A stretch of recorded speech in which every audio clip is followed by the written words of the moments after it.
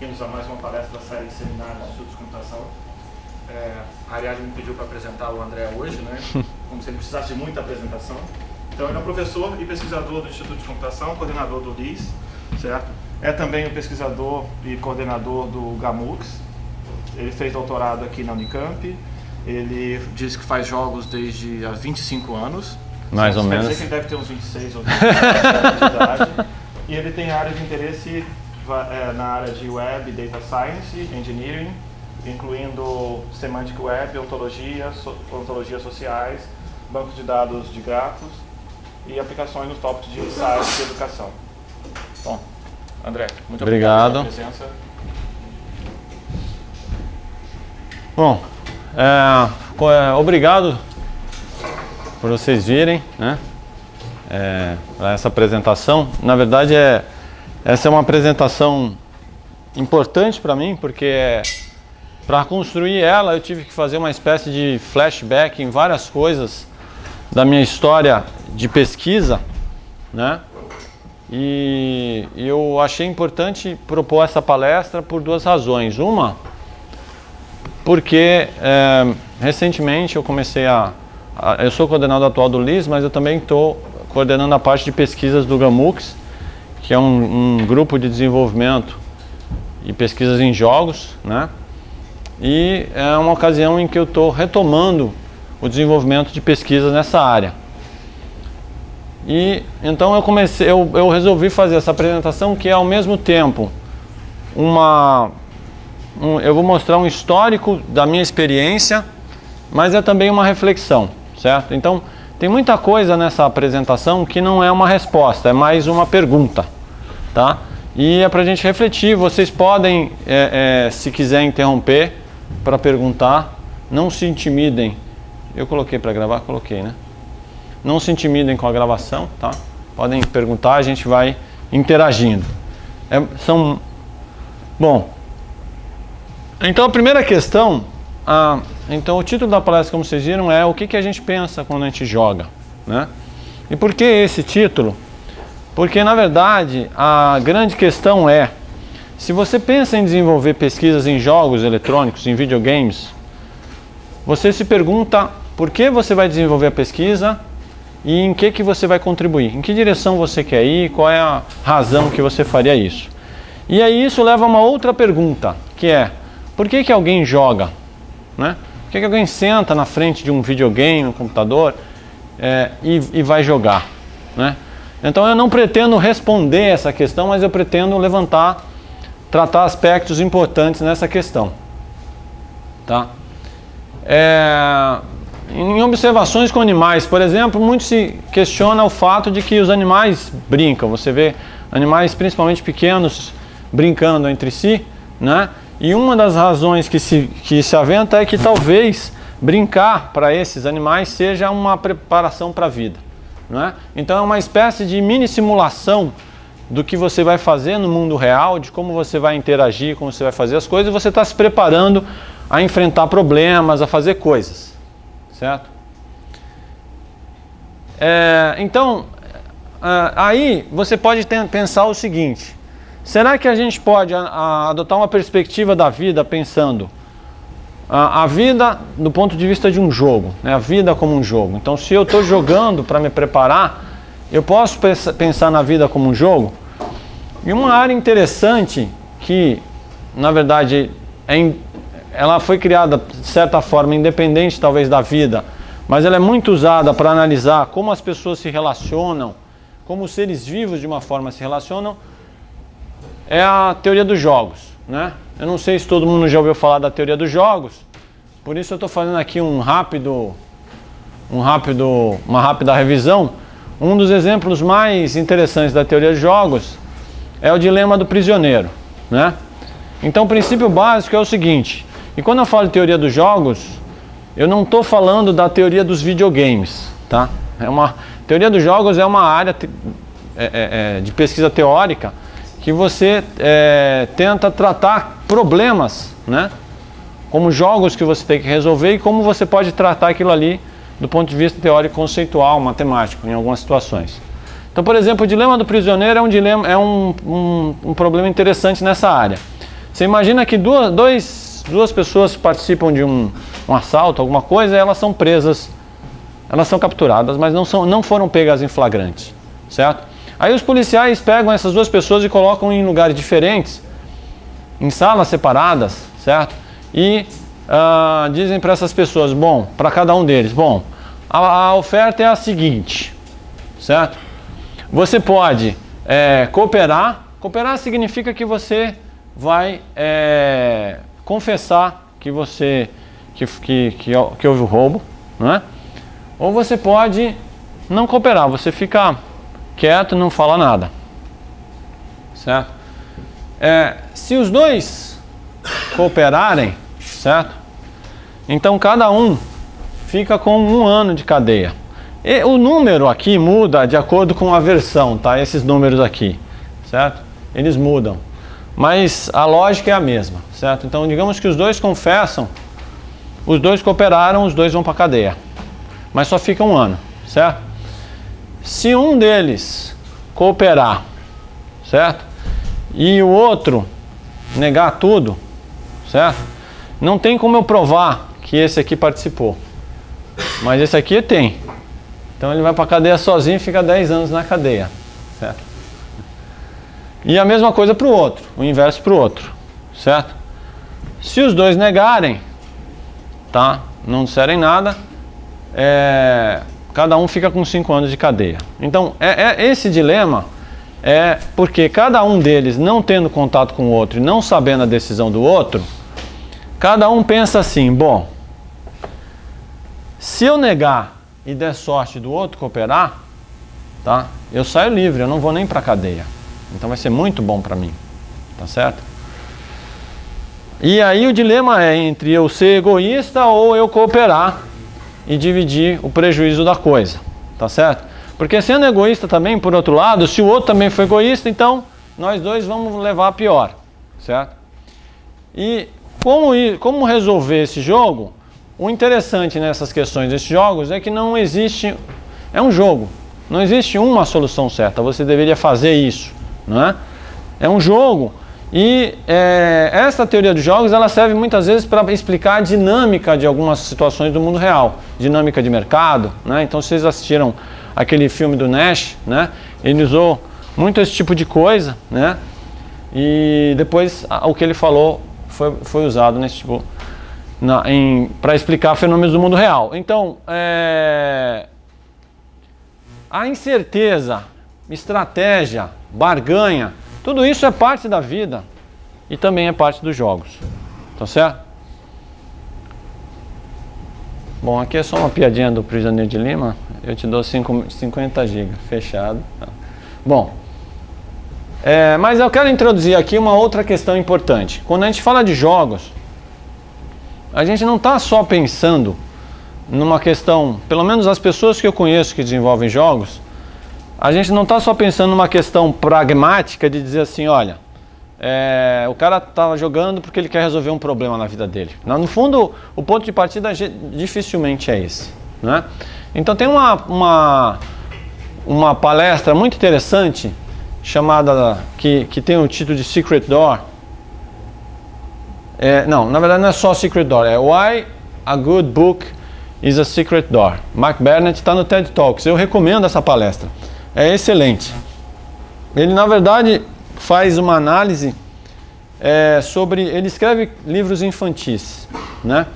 E isso aqui é da palestra dele, eu achei isso excelente. Ele apresenta isso no início da palestra dele, né?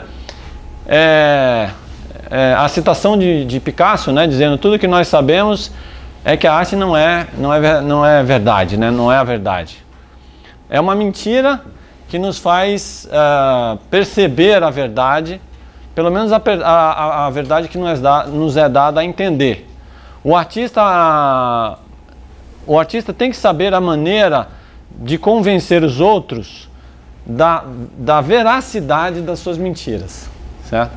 Então essa afirmação é muito interessante né? E aí o Mark Burnett, ele define arte, né? ele faz esse diagrama de Venn para definir arte. Né? Ele diz assim, olha, tem a verdade, tem a mentira e tem essa área aqui no meio, né? que ele chama de arte, né? que é essa coisa... Ele diz como é que alguma coisa está no meio entre a mentira e a verdade, né? E isso é bem interessante porque jogos também se encaixam bem aí. A ideia é o seguinte: você sabe que é mentira, você sabe que aquilo não está acontecendo, tá certo? Você sabe, a gente vai ver aqui alguns jogos, né? Mas no fundo, no fundo, você quer entrar na história, você quer entrar no jogo e você quer acreditar que aquilo é verdade. Né? E você passa a se comportar como se aquilo fosse verdade. Você não faz, ah, isso é só um conjunto de, de processadores rodando um programa. Não, você entra no jogo e você atira, e você chuta, e você faz as coisas, né? Então, as coisas acontecem na nossa mente quando a gente joga, né? E, e uma das grandes provas disso são como os jogos, os primeiros jogos digitais de computador começaram. E aí eu vou falar sobre como se fazia muito com pouco, certo? Então isso é para a geração de hoje que dificilmente viu isso. Só na televisão, talvez. Eu não sei se vocês, vocês já só viram fotografia. Eu também só vi fotografia, viu gente? Desse computador. Esse é um PDP-10. Vocês devem ter estudado isso na história da computação. É um computador bem velho, né? Tá lá no início. Era um computador de grande porte. E no PDP-10 foi desenvolvido um jogo chamado Zork, certo? Alguém já ouviu falar de Zork? Zork era um jogo de aventura. Para vocês terem uma ideia de como é que Zork funcionava, peraí, deixa eu mostrar outra tela. Ah, não tem não. Bom, mas é, pulei essa tela. Mas o Zork basicamente era assim, olha. Ele era, naquela época você não tinha gráfico ainda, né? Nesses computadores, ou talvez só terminais muito especializados. E você ah, era só texto e o jogo dizia você está numa sala, né? E aqui nessa sala tem e aí falava o que você tem, aí você diz pega não sei o que, faz assim, vai para a direita. Então nossa, nota, você o que, que você tem aqui? Você tem um computador e um bando de texto na sua frente, tá? Talvez para uma criança de hoje isso não vai ajudar muito, né? Mas a todo jogo acontecia na mente. E aí tem um relato que eles falam da história dos orcs, que é bem interessante, tá? Nesse artigo aqui, que vale a pena dar uma olhada. Que o Robin Williams disse que ele ligava de, ligava de madrugada pro, pro cara que fez o jogo, né? Que foi o Mark Blank, para dizer, olha, me dá umas dicas aí de como é que eu saio de não sei aonde. O cara ficava preso lá no negócio, não conseguia sair, né? É, e pediu umas dicas para isso aí. Bom, isso aqui talvez poucos de vocês conhecem, era um TK82C, né? É um, o primeiro microcomputador que chegou no Brasil, né? Ele foi baseado nesse outro computador chamado ZX81. Bom, ele tinha um absurdo de 2K de memória, certo? Mas você podia comprar uma expansão de 16, certo? Aí sim, aí ficava bom, certo? É, um dos primeiros jogos que eu desenvolvi foi nele foi um Space Invaders de 2K de memória, que meu colega ainda não tinha a expansão de 16, em Basic. Então o jogo era muito bom, o Space Invaders, era um conjunto de blocos assim que andava, aí você esperava um tempo, conversava com seu colega, aí você ficava apertando o botão, aí a nave andava um pouquinho, aí conversava mais um pouquinho, aí as naves andavam, aí você atirava, aí tudo parava, aí o tiro subia. Aí não tinha, não tinha espaço de memória para fazer a explosão. Então ele só passava por cima da nave, o pedaço que passava desaparecia, aí o jogo continuava. 2K de memória Space Invaders. Isso que vocês estão vendo aqui à direita era uma fita cassete, um gravador cassete. É assim que a gente lia os programas. Tá certo? Levava uns 15 minutos mais ou menos para ler um programa pequeno. É, o que eu gostava muito naquela época é que olha como era a caixinha do jogo. Essa era a caixinha, certo? É isso que vendiam pra gente. Certo? Você comprava um negócio dizendo, agora sim, agora eu vou voar num avião de verdade, é hoje que eu vou. Né? Aí quando você botava no seu computador, aparecia isso, certo? Mas a gente entrava no esquema. Isso aqui, tem um vídeo aqui que eu, eu, eu vou mostrar para vocês. Deixa eu ver se ele entra aqui no YouTube para vocês verem. Ele tem esse vídeo aqui mostrando como era o jogo, certo? Basicamente, você vai descobrir que eram só os números do painel que se mexiam, tá certo? Esses números aqui que se mexiam, né? Dando a ideia que a altitude ia mudando assim, né? Então você Se você não virasse o avião quando você estava decolando, o número ia mexendo, ia subindo, né? Tá decolando agora, agora tá decolando. Aí, beleza, vai lá, vai lá, vai, tá decolando. Ah, acelera mais, isso, vai, né? E aí você ia achando que o negócio estava decolando. Peraí, isso aqui é propaganda. Eu vou botar lá mais para o meio. Tem uma parte inicial aqui. Bom, o cara botou um sonzinho no fundo, mas basicamente o cara tá voando, certo? Então muda os números aqui, aceleração. Você não está se sentindo, você não está se sentindo no avião? Eu tô. Eu tô me sentindo no avião. Era assim que era simulador de voo, certo? Só que aí é que tá. Eu lembro, por exemplo, que eu tinha um professor de matemática, né? Que começou a mexer com o computador. Na, na época eu era o único aluno comece, tinha começado a mexer com micros, os micros estavam chegando ainda. Aí ele veio me perguntar como é que faz. Aí eu falei para ele desse jogo, ele botou o jogo na máquina dele. Aí no dia seguinte ele veio falar comigo. É, ontem minha mulher brigou comigo. Fiquei a noite toda pilotando esse avião, eu não consegui parar. então, olha, o negócio era, é isso que é interessante no jogo. Ele acontece nas, muito, isso, é, essa é a prova, né? que o jogo acontece muito na sua cabeça, né? Você entra nesse mundo, você sabe que hoje em dia você pode dizer, ah, os jogos são bem mais realistas, é verdade, certo? Mas não, talvez não, é, não, não seja a realidade, o realismo do jogo que faça a gente entrar na história, certo? É o simples fato da gente querer se engajar no jogo. Esse é um jogo que eu joguei bastante, chamava Star Trek, né? Meus alunos de 302 não sabem o nome da nave, né? Foi uma decepção na sala de aula, disse que tem que fazer um manual de nerds, né? Não tem, tem que fazer um guia inici, de iniciantes para nerd, né? Então, a Enterprise, né? Apresentando para que eu não vou fazer a pergunta, para vocês todo mundo sabe. E isso aqui eram os quadrantes, você tinha que tomar, tinha, tinha os Kinglons que atacavam, certo? Eu lembro bem desse jogo que eu lembro uma vez que eu estava jogando ele e ia ter uma. Eles iam fazer um quebrar um pedaço lá, lá de casa, tava fazendo uma obra lá. E ia subir muita fumaça e não dava para trabalhar no computador porque ele ficava no lugar justamente onde ia quebrar. Aí eu botei um lençol por cima de mim e o computador e continuei jogando para não parar, né? Então, era isso aí. Esse aqui é um exemplo de como você consegue fazer coisas interessantes com muito pouco. Vocês já viram isso não? Nunca viram, né? Isso aqui é para você saber, é como eu falei. Bom, isso aqui se chama Dancing Demon, rodava no CP500, que era um modelo que era baseado no TS-80. Então aqui está o CP500 funcionando, vocês estão vendo. Você tinha que chamar o Basic. Estão vendo aí? Vocês conseguem ouvir? Deixa eu ver. Talvez eu tenha que aumentar o volume aqui. Aí você escolhe qual é a música que ele vai dançar. Certo? Aí. A 1, um, a número 1. Um. Aí isso é a cortina, viu gente? Agora a cortina vai subir. Aí vai subir a cortina. Aí agora. Como o cara conseguiu fazer isso? Fala a verdade. Rapaz, se você ver como os caras faziam isso, o cara não tinha mesa digitalizadora. Era o tiozão lá. A pessoa ainda trabalhava de gravata na época. Na frente do micro. Caractere a caractere. Olha, ele vai dar voltinha, hein? Atenção pra voltinha. Daqui a pouco ele dá voltinha. Aê, ó a voltinha. Ah, a voltinha. Esse era o Dancing Demon. Certo? Então, essas coisas que se faziam naquela época, né? Se você pensar o Tetris também é um jogo que eh, você consegue um grande resultado com muito pouco. É um jogo bem antigo, porque você conseguia fazer isso até mesmo nos caracteres.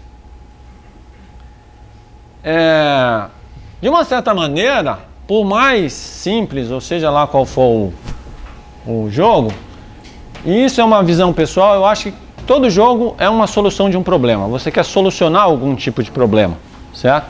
Então, de alguma maneira, você está empenhando a sua capacidade para resolver alguma coisa, certo? Mas e aí isso eu anuncio no início lá da minha palestra. Por que, que a gente, por que, que alguns jogos eles são relegados a, são discriminados, né? São relegados a, não, esse jogo aqui não, é, é, você está perdendo seu tempo, você está acabando com sua educação, só fica jogando. E alguns jogos são considerados positivos, né? Por que, que a gente, de uma certa maneira, né, principalmente a sociedade, classifica os jogos?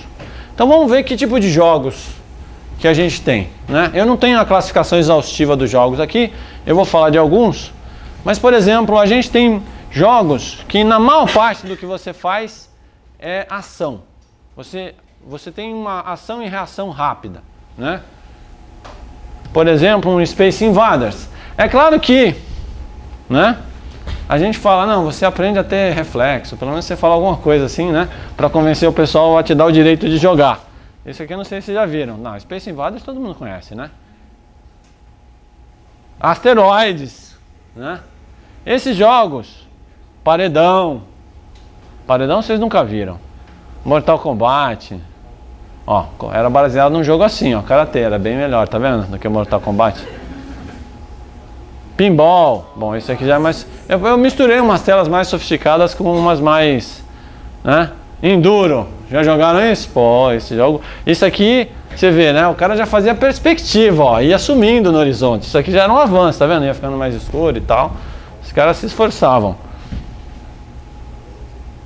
Keystone Keepers. Keepers, né? Keystone Keepers. Pac-Man, todo mundo conhece. Pac-Man é obrigatório. Pitfall. Não sei quem conhece. River Raid. Donkey Kong é um clássico também, eles lançaram coisas bem mais novas, mas todos esses jogos aqui, Príncipe da Pérsia, né? Tem gente que acha que só tem esse novo 3D que o cara pula, não, ele começou e tinha um antes que eu esqueci de colocar que se chama Karateka, que eu era viciado nesse negócio, era um lutador de karatê. Esse esse realmente eu joguei muito. Depois tem o Wolfan 3D, que deu origem a Doom, Quake, toda uma geração de jogos em primeira pessoa em 3D. Né? Então esses tipos de jogos, ele tem que característica? É, alguns deles até têm um pouco mais de estratégia. Se você pegar principalmente esses jogos mais como na linha de Wolf 3D e, e outros de Doom, é, aí você pode ter um pouco mais de estratégia, porque você vai ter um mapa, você vai ter os inimigos posicionados de uma certa maneira, aí você tem que se posicionar de uma outra maneira e assim por diante. Mas eles não, não são. É... Mas mesmo assim, eles exigem muito mais ação e reação do que estratégia. Depois tem jogos que exigem alguma lógica, mas é uma lógica simples, tá? Por exemplo, o famoso jogo de cartas, né? Ah, você se você é incentivado a jogar um jogo desse porque ele desafia a sua mente de uma certa maneira, mas de uma forma bem simples, né? Você tem que combinar as cartas, você tem que chegar num número, né? Tetris também. Ele desafia um pouco, você tem que encaixar a peça, né? E tem jogos que desafiam mais a sua mente, porque agora você tem que resolver problemas mais complexos. Os problemas podem ir crescendo em complexidade. Você pode ter que desenvolver estratégias diferentes quando os problemas vão ficando mais complexos, tá? Por exemplo, eu não sei se vocês já ouviram falar de rush hour, né? A ideia do rush hour é que você tem que conseguir fazer todos os carros passarem pela saída, que é essa aqui, certo? Mas aí para isso você tem que fazer deslocamento, né? Você tem que mover esse para baixo, esse para cá, você tem que fazer todo o movimento, né? Para conseguir fazer todo mundo sair. E esse aí é o problema número um, o mais simples, né? Depois você vai ficando mais complicado e você vai ter que aí sim você vai ter que ir desenvolvendo estratégias mais sofisticadas para ir resolvendo as coisas. Socoban é um que é um clássico famoso. Eu tenho até um vídeo no YouTube explicando como é que joga, como é que funciona. É um jogo muito interessante de movimento de caixas. Esse sim, o, os problemas começam a ficar bem complexos. Então, é, chega uma hora que você tem que realmente é, desenvolver umas estratégias mais complicadas, né? E uma coisa interessante também é que aqui chega a um ponto que ah, os jogadores eles podem discutir entre eles estratégias, né? Elas começam a aprender algumas coisas. Por exemplo, você sabe que se você deixar uma caixa dessa, porque esse jogo é assim, você só pode empurrar a caixa, você não tem como puxar ela, tá certo? E aí isso é bem interessante, porque, é, por exemplo, se você sem querer empurrar a caixa para a parede, você nunca mais consegue tirar ela de lá, porque não tem mais como você empurrar ela, né? Para um canto, não, não qualquer parede, mas um canto como esse, você não tira ela mais de lá. Você pode estar querendo fazer isso, certo?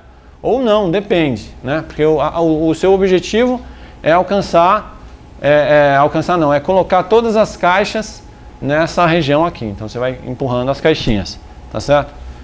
E tem comunidades altamente motivadas nesse negócio de Socoban, que tem uns negócios desses bem complexos e bem interessantes. É, tem um jogo interessante também chamado Mancala, ou Kahala. Isso aqui é baseado num jogo africano, né? então é uma virtualização de um jogo que se joga em tabuleiro. Né? É, é interessante esse jogo porque é, ele é todo baseado em, em matemática de uma certa maneira, então você tem que, você tem que ir calculando como as, as peças vão se desdobrando pelo tabuleiro para você ir fazendo a estratégia do que você vai fazer. E tem mais um monte desses daí. Tá? Depois tem os jogos de aventura. Né? Esse aqui foi um clássico Myst, né?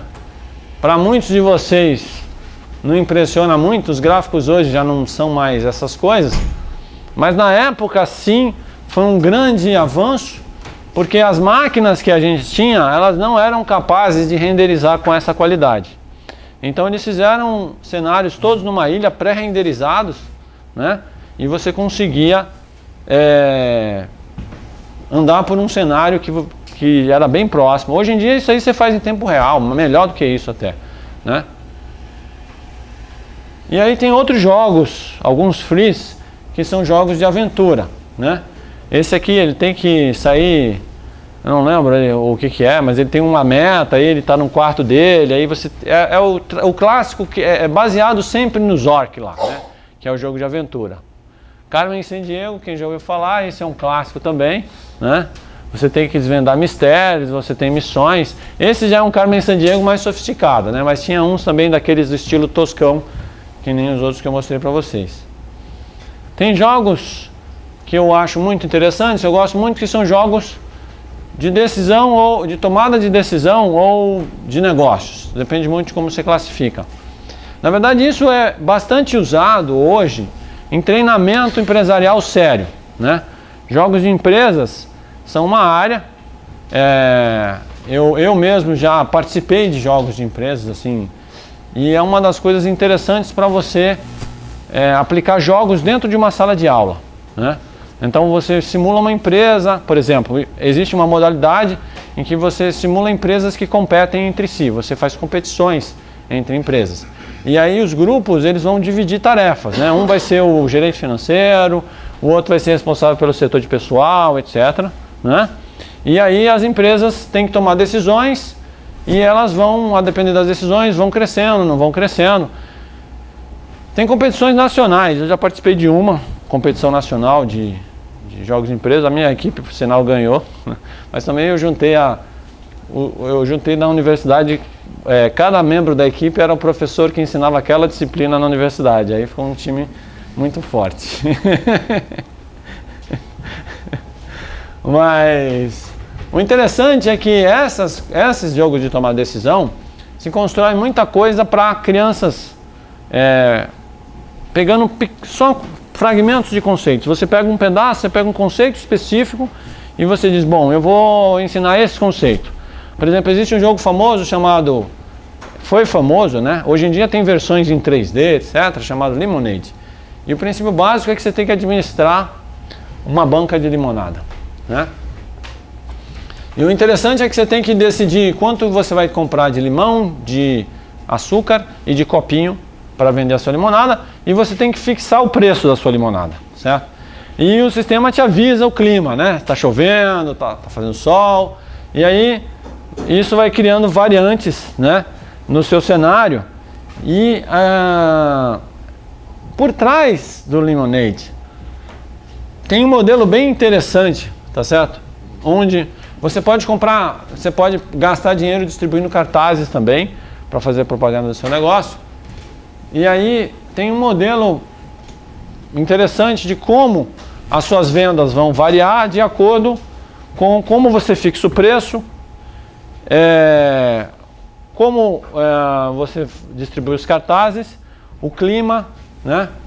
Mas isso não é trivial de perceber na mente de quem está jogando, certo? Isso aí está rodando por trás do seu sistema.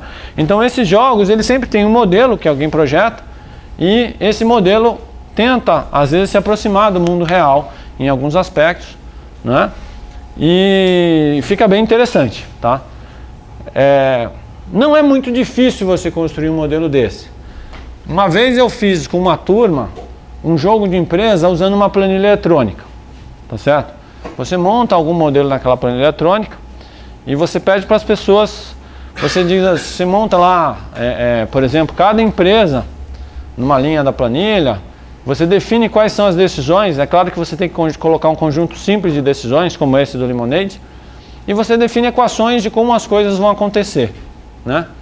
E aí você faz rodadas na própria sala. Você pede para as pessoas, vai, a sua empresa, como é que é? Você pode pedir para as pessoas fazerem no papel e você transfere para a planilha, que vai ser o central. Aí depois você mostra, divulga o que, que aconteceu para o próximo trimestre, por exemplo. Aí você vai fazendo a jogada. Eu já fiz isso uma vez, é bem interessante. Eu também já participei de um jogo de empresa que foi dado uma disciplina em sala de aula. Né? O professor era um cara muito preparado, ele veio na verdade, a minha universidade lá, quando eu estava em Salvador, eles estavam querendo colocar isso na disciplina de administração, então eles trouxeram um cara que tinha uma, que vendia um jogo de empresa e ele era muito era especializado em aplicar com as pessoas. E foi muito interessante. A gente tomou um curso assim durante um período grande, mas as aulas eram muito interessantes, porque basicamente a gente jogava. Né? Então ele entrava na sala, a gente fazia os grupos e aí tinha que fazer as competições. E, na, e durante a, a aula o professor ia inventando coisas, ia mudando as regras, entendeu? Ele fazia assim, ele chegou um dia lá e falou assim, ó, eu estou vendendo informação sigilosa para quem quiser, né? Então você podia pagar ele, subornar ele e ele te dava informação de outra empresa, né? Sobre outra empresa, sobre decisão, sobre não sei o quê. Ele começava a criar uns cenários loucos assim, né? Ele mudava, né? Criava um efeito cataclismo, um negócio cataclismo, as ações caíam, e aí ele ia fazendo essas coisas e era bem interessante o jogo. Santa Parada é um jogo interessante também, você tem que administrar um feudo, você é um rei, né? E aí tem que tomar decisões se você vai comprar grãos, vender grãos, se você vai ceder grãos para os seus vassalos, né? Aí depois os ratos dizimam sua, sua vegetação. Vocês veem como era, né? Isso aqui estava rodando no, naquele velho CP500 que eu falei para vocês que era um computador ainda uma resolução bem ruim. Esse é um jogo que eu desenvolvi com alguns alunos também, eu desenvolvi em sala de aula, que é baseado também num jogo interessante de compra e venda entre planetas, etc. Por que, que alguém desenvolve jogos? Né? Então, o que, que faz alguém é, querer desenvolver algum jogo? Né? Então, essa é uma pergunta interessante, né? porque também leva à questão por que, que nós vamos fazer pesquisa sobre. Quer dizer, pesquisa sobre jogos envolveria pesquisa sobre o que acontece com as pessoas quando elas jogam, isso é uma pesquisa, mas também é uma pesquisa de como desenvolver jogos, que tipo de jogos a gente desenvolve, né? coisas em torno dos jogos. A, a, área de jogos é uma área é, interdisciplinar, mas ah, pelas minhas observações, isso é uma conclusão pessoal, quem desenvolve jogos tem uma coisa que é uma questão de fé. Né? Eu acho que em toda área você tem uma parte do processo que é uma questão do que você acredita, uma questão de fé. Você não vai conseguir provar aquilo, mas você acredita naquilo. É como na ciência, né? A gente acha que na ciência a gente está fazendo bem para a humanidade. Né? Eu não consigo provar isso matematicamente, mas eu estou fazendo isso porque eu acho que é assim. Né? Então é uma questão de fé. Quando alguém desenvolve jogos, eu acho que as pessoas acreditam certo? Que estão fazendo outras pessoas felizes, né? Que alguém vai ficar feliz ao jogar aquele jogo, né? E isso é uma coisa interessante. Quando você observa as pessoas que desenvolvem jogos. Porque a predisposição de começar a desenvolver um jogo é uma predisposição de você pensar, poxa, eu vou fazer um negócio para alguém ficar feliz. Você não fica pensando assim, ah, vou. Né? Você tem que ter uma disposição de espírito positiva, não é? Se você quiser criar alguma coisa interessante. Mesmo assim, quando você faz jogos, eles nem sempre ajudam, né? Se fosse verdade que jogo sempre era uma coisa boa, né? É, então, eles não seriam tão condenados, né? Ah, você está perdendo seu tempo jogando. Então, por que que quando é que jogos não ajudam, né? Por exemplo, quando é que eles são considerados é, desperdício de tempo? Então, eu lembro de uma experiência pessoal e esse tipo de jogo aqui me remete a essa experiência pessoal, né? Provavelmente também a maioria de vocês nunca viu um negócio desse, né? Vocês nem sabem do que se trata, né? Pelo menos eu espero que vocês saibam o que é cristal líquido, né? Esse é um jogo com uma tela de cristal líquido, né? E como na época ainda ou era caro, ou não tinha tecnologia para fazer pixels de cristal líquido, eu, a gente já tinha moldes pré, preenchidos com as posições que o negócio podia assumir, né? Que o, o, o, o joguinho podia assumir, né? Então, por exemplo, esse aqui era um jogo de acertar os gansos, né? Você tinha que dar umas, acho que uma, nesse caso aí eu acho que eram umas pancadas ou eram uns tiros, sei lá. Era um jogo não muito, né? Era um jogo de caça, certo? É, um outro, e esse aí eu, eu tive esse jogo, né? E é por isso que eu lembro da experiência pessoal. Se chama Condor, né? Por uma questão só de coincidência, era um homem pré-histórico, não tem nada de, né? Então era um homem pré-histórico e o condor descia daqui e ele tentava comer a minha carne que estava pendurada. E eu tinha que espantar os condores dando pancada com a minha machadinha aqui para eles não pegarem, né? E, e o que, que esse jogo me lembra? Me lembra que eu fiquei é, viciado nesse jogo, era menino, né, né? Tão viciado que uma vez, por exemplo, eu fui para Lençóis, na Bahia. Não sei se vocês já foram para lá, né? É um lugar maravilhoso, certo? Só que eu só ficava jogando esse negócio aí. é sério. Eu só ficava jogando isso. Então, eu passei praticamente é, um feriado, não lembro que feriado, um feriado grande, e eu não eu fiquei o tempo todo jogando isso aí. Eu lembro muito bem disso. Né? Eu não saí de lá da pousada, não ia para lugar nenhum, não fazia nada e ficava jogando isso aí. Então, de uma certa maneira, nesse momento, o jogo ele estava é, é, é me isolando ou, ou, ou, ou, me impedindo, talvez, de desenvolver alguma atividade. É claro que eu, assim, existia uma, uma sinergia entre eu e o jogo. Eu queria jogar e aquele jogo me viciava. Mas e esse jogo também é um daqueles jogos de ação mecânica, né? Ficar jogando isso por horas e horas e horas, o que estava acrescentando, né? Então, esse tipo de coisa é que preocupam algumas pessoas, né? Quando você tem esses vários jogos, e aí eu poderia citar mais uma lista deles, né? É, por exemplo, é, jogos de cartas, eu já vi aqueles de computador, né? né? Tem gente que me fala às vezes assim, pô, não consigo parar de jogar aquele negócio, né? Então o cara fica viciado naquele jogo, né? E às vezes a própria pessoa gostaria de parar, né? A própria pessoa diz, não, mas eu não consigo, eu gostaria. É uma espécie de fuga, né? Então é interessante porque ao mesmo tempo que as pessoas dizem, olha, é, é uma coisa que a gente gostaria de fazer as pessoas felizes, de uma certa maneira depende de como o jogo é, é, é, é jogado. Quando é que os jogos ajudam? E essa é uma outra questão, tá? Na verdade eu vou tratar essa questão de várias dimensões, mas eu quero trazer a primeira, que eu acho que é uma dimensão muito importante, certo? E é uma dimensão que nos últimos anos tem crescido muito, que é a dimensão social, tá? Eu estou em outro conjunto de slides porque por algo de algum jeito eu estava tendo problemas em juntar os dois, então eu fiz um outro set aqui. Bom, é, o que, que eu chamo de dimensão social? É, uma das coisas que eu tenho feito no, no, nos últimos tempos é participar das atividades do GAMUX, que, para quem não conhece, é um grupo de alunos, né? ele é liderado pelos alunos, as atividades são criadas e desenvolvidas por eles, né? e na sua maior parte são trabalhos voluntários que eles desenvolvem. Agora, por exemplo, eles estão desenvolvendo um treinamento para os calouros, para construção de jogos. E uma das coisas que me deixou impressionado, a primeira vez que eu participei de uma jam, o que, que é uma jam? Uma jam é um evento que é, é patrocinado aqui em Campinas é patrocinado pelo Gamux, mas ele acontece em vários outros lugares. E no caso daqui são existem três jams que o Gamux organiza. Uma é dentro da Unicamp, que vai acontecer agora dia 12. É dia 12? Hã? 11. Dia 11 de abril.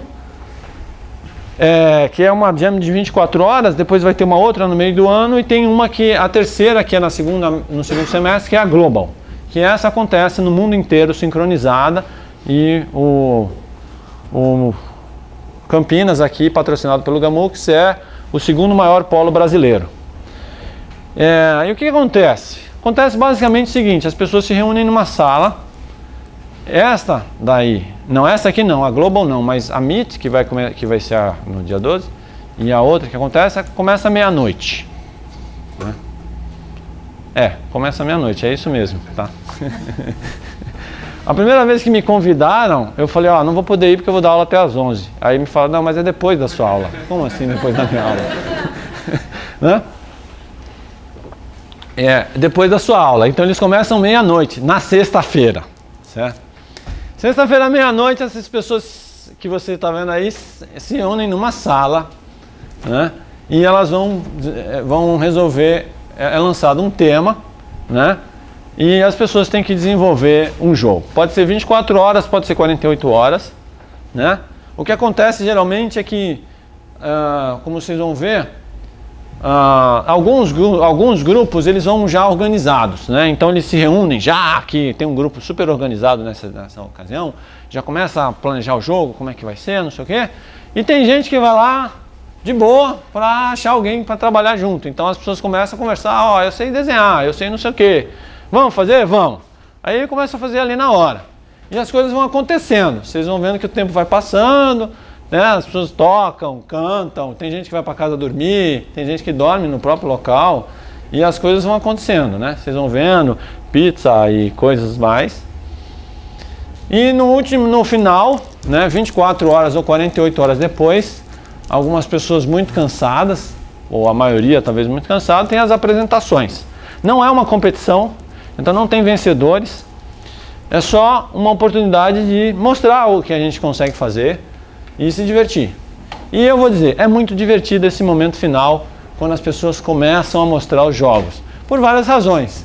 Pelas ideias loucas, pelas narrativas, pelas coisas assim do tipo, ó, você vê, a sala cheia, a mesma turma que estava antes, tá certo? Isso aí sou eu apresentando Lindaura, que foi o jogo que eu fiz, né? É uma galinha que pensava que era um dromedário, mas na verdade era um dinossauro, para variar, né?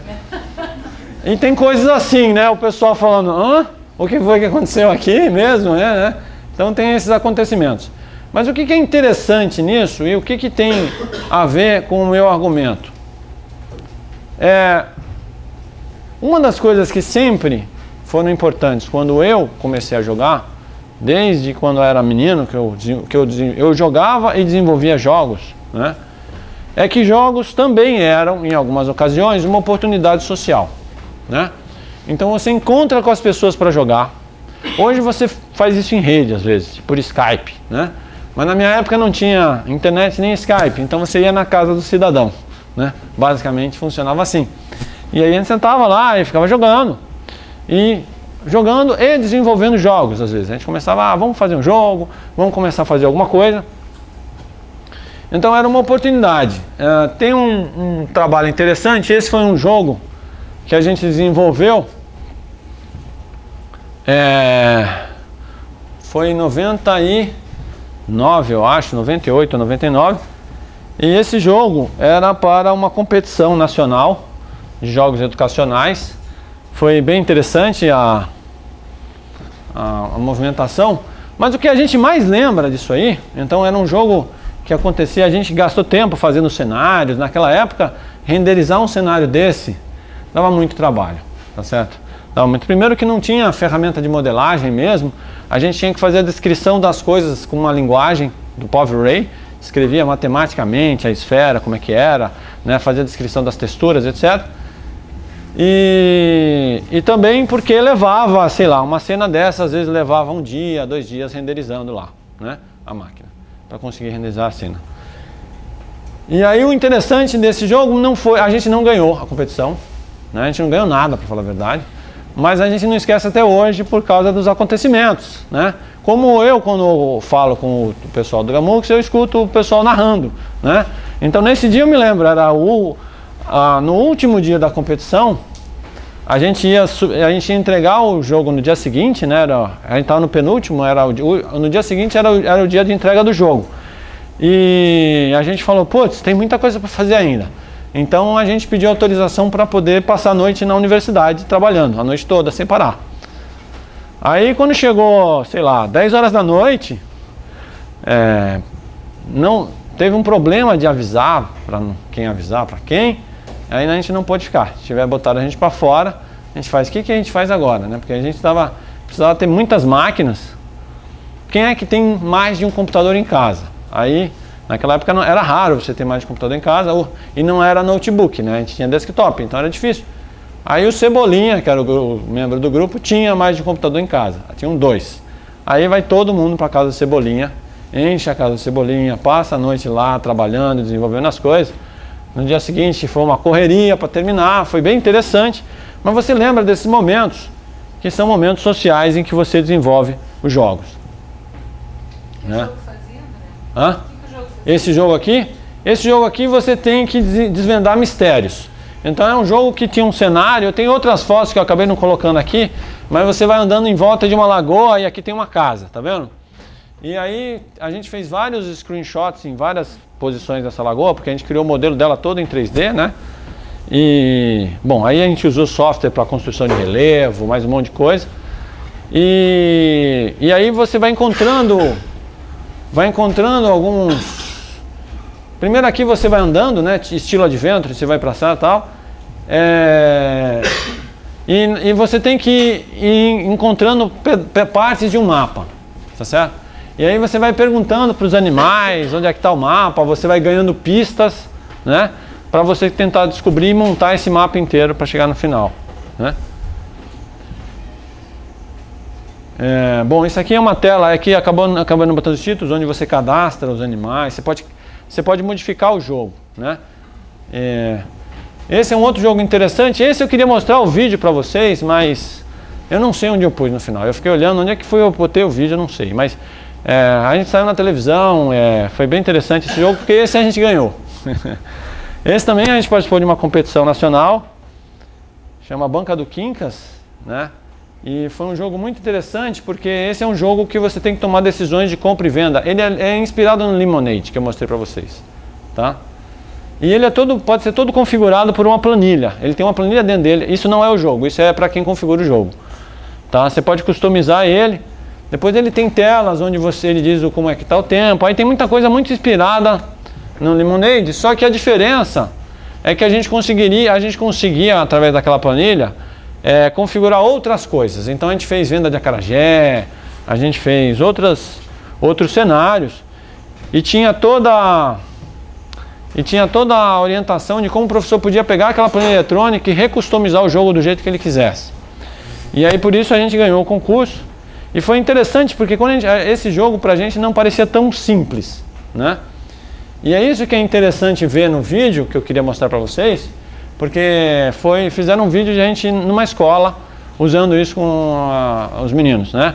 E foi muito interessante, porque era TV, né? A gente ia sair na TV, a gente, ó, pessoal, é o seguinte, ó, vamos, a gente vai botar as instruções aqui no quadro, explicar para os meninos como é que é, porque o negócio, não é, o negócio é complicado, tem que preencher, tinha que tomar umas decisões, assim, ó, tem que tomar umas decisões aqui, né, de, de, de quanto você vai comprar, aí tinha o ciclo lá, aí você tinha que fixar preço. Aí eu falei, pô, vamos botar as instruções, quando a meninada entrar, a gente explica, ó, silêncio todo mundo, a gente explica, e aí libera pro jogo, aí começa a filmar. Beleza. Só que a escola que a gente foi aplicar, eu não era professor da escola, ninguém. A gente não conhecia a escola, não conhecia os alunos. E aí quando a meninada entrou, foi uma confusão. Ué, ué, Uma gritalhada, os meninos entrando, sentando na máquina e começa a jogar. Pera aí, calma. O menino começou a jogar aí, já, já começou a dizer pro outro, não, ó, faz assim, isso aqui não funciona não. Aí vai tentando controlar o pessoal. Daqui a pouco já tinha um que já estava ficando milionário no jogo. Eu não sei como. Porque a gente jogou várias vezes o jogo. Não, não, não, eu sei, porque a minha mãe tem uma loja de 1,99. Ele fala isso no vídeo que ele grava na televisão, é muito interessante. A minha mãe tem uma loja de 1,99. Aí eu descobri que se eu botar um preço mais baixo, não sei o quê, aí ela vai, aí fala pro outro, não, faz assim, faz assim, aí o outro vai. Quer dizer, eles começam a. Aí, aí tem a questão social também, que às vezes você não, não pensa quando você projeta o jogo, né? Mas um vai falando com o outro, e daqui a pouco eles estavam jogando. E a gente não conseguiu explicar para eles como é que jogava. Eles acabaram aprendendo por conta própria. Tá? Aí ele tem ciclos lá, ele vai dizendo quanto você ganhou, etc. Tá? É, uma coisa interessante é que é, quando a gente pensa em jogos, a gente pensa em dois. A gente pode pensar, às vezes, em polos diferentes. A gente pode pensar, ah, tem um tipo de jogo, né? Que é aquele jogo que parece que a gente está perdendo tempo. A gente só fica apertando o botão e atirando, né? É, e tem um outro tipo de jogo que você pensa, que você raciocina. Mas no fundo, a decisão não é tão simples, tá certo?